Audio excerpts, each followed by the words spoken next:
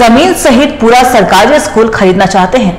तो आपको बिहार के मोतिहारी का रुख करना चाहिए। दरअसल, मोतिहारी में ज़मीन सहित पूरा सरकारी स्कूल बिकता है और बिहार सरकार का अंचल कार्यालय उसकी म्यूटेशन भी करता है। आपको मेरी बात मज़ाक ही लग रही होगी, लेकिन मोतिहारी में ऐसा ही मज़ाक चल रहा है।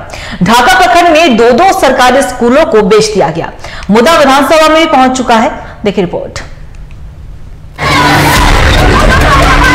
ये बच्चे कितने जतन से खेलने में मगन हैं, उन्हें ये नहीं पता कि उनके स्कूल को बेच दिया गया है। जी हाँ सरकारी स्कूल भी थोक के भाव में बेचे जा रहे हैं। ये सब हो रहा है उस बिहार में जहाँ इन दिनों भूमि सर्वे चल रहा है। ये तस्वीर है मोतिहारी ज़िले के ढाका प्रखंड के पचपकरी गाँव के उच्चतर माध्यमिक विद्यालय की। भू माफियाओं ने इसे विजय राय नाम के शख्स को बेच दिया है। और ये तस्वीर है फुलवरिया गाँव के उच्चतर माध्यमिक विद्यालय की। इस स्कूल को तो ज़मीन सहित पाँच साल पहले यानी 2019 में ही बेच दिया गया। हैरत की बात यह है कि अंचल कार्यालय ने इसका म्यूटेशन भी कर दिया। विधायक के कानों तक ये खबर पहुँची तो मामला विधानसभा में उठा। डीएम पूर्वी चंपारण ने अपने प्रतिवेदन में स्वीकार किया है कि ढाका विधानसभा के दो विद्यालय उत्कर्मित उच्चतर माध्यमिक विद्यालय फुलवड़िया और उत्कर्मित उच्चतर माध्यमिक विद्यालय पचपकरी का भवन निर्मित ज़मीन को सीओ ने दाखिल खारिज करके और जमाबंदी कायम कर दिया दूसरे व्यक्ति के नाम पर। यह काफ़ी गंभीर मामला है। माननीय मंत्री जी के संज्ञान में है। माननीय मंत्री जी ने कार्रवाई करने की बात कही है। हम ये चाहते हैं कि इस मामले में संबंधित अंचलाधिकारी संबंधित कर्मचारी और संबंधित सीआई और क्रेता विक्रेता के विरुद्ध प्राथमिकी दर्ज हो चुकी भवन बना हुआ हाई स्कूल का है। उसका जमाबंदी कैसे कायम हो सकता है? मामला विधानसभा में पहुँचा तो अफसरों के हाथ पाँव फूले कार्रवाई की बात कही जाने लगी। संबंधित सीओ से लेकर निबंधन अधिकारी और ज़मीन बेचने वाले से लेकर खरीदने वाले तक पर एफआईआर की तैयारी है। पचपोखड़ी में दाखिल खारिज नहीं हुआ है। लेकिन फुलवरिया में हो चुका है। और जो निबंधन हुआ है वो भी सरकारी स्कूल की ज़मीन का हो गया है। इसकी जाँच मेरे द्वारा की गई। इसमें गलती पाई गई है। निबंधन कार्यालय से भी गलती हुई है और अंचल कार्यालय से भी गलती हुई है इसमें दाखिल खारिज कराने में। तो इसमें जो भी दोषी सीओ हैं या जो कर्मचारी हैं उन पर कार्रवाई की अनुशंसा की गई है। साथ ही जो बेचे हैं जो ज़मीन बेचे हैं उन पर भी एफआईआर की अनुशंसा की गई है। कहा जाता है कि बिहार से ही निकले नटवर लाल ने कभी ताजमहल संसद भवन और लाल किले को बेच दिया था। मोतिहारी में सरकारी स्कूलों को बेचा जा रहा है। फुलवरिया की ये ज़मीन बासमती चौधूर ने 1942 में स्कूल के लिए दान दी थी। 2019 में बासमती चौधूर के वंशज शशि भूषण प्रसाद ने 2019 में अब उठेंगे।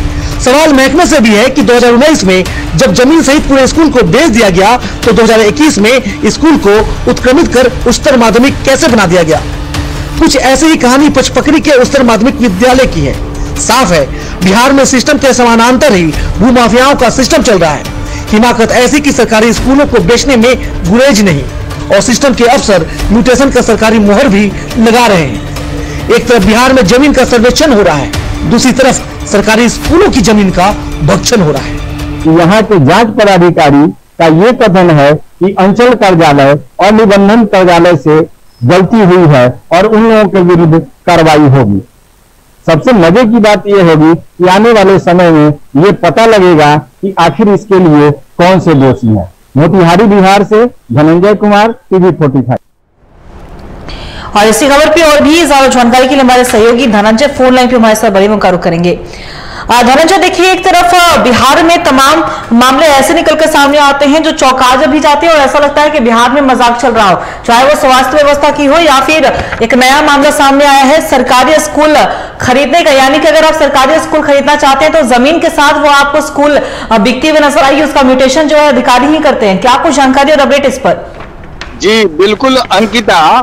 जिस तरह की वारदात ये सामने उभर कर आई है कि सरकारी विद्यालय और उसमें भी भवन और उसमें भी मज़े की बात है कि लड़के और लड़कियाँ बतौर उसमें पढ़, पढ़ती हैं और शिक्षक भी आते हैं पढ़ा, पढ़ाई करते हैं पढ़ाए जाते हैं हम्म। और वैसे संचालित विद्यालय की भवन को भू माफियाओं के साठ गांठ से अधिकारियों के द्वारा खरीद बिक्री भी कर दिया गया उसका म्यूटेशन भी कर दिया गया लेकिन सबसे मज़े की बात है अंकिता कि इस में जो मोतिहारी के एडीएम का जो कथन है कि दोषियों के विरुद्ध कार्रवाई की जाएगी, और और सबसे उन्होंने ये बताया कि अंचल कार्यालय और निबंधन कार्यालय तो इन लोगों के विरुद्ध कार्रवाई की जाएगी, लेकिन जो खरीद फोक जो लोग जो किए हैं, बंदर बांट किए हुए हैं, ज़मीन को, सरकारी विद्यालय के भवन को भी और ज़मीन को भी, उनके विरुद्ध कार्रवाई की जाएगी, एफआईआर की जाएगी। लेकिन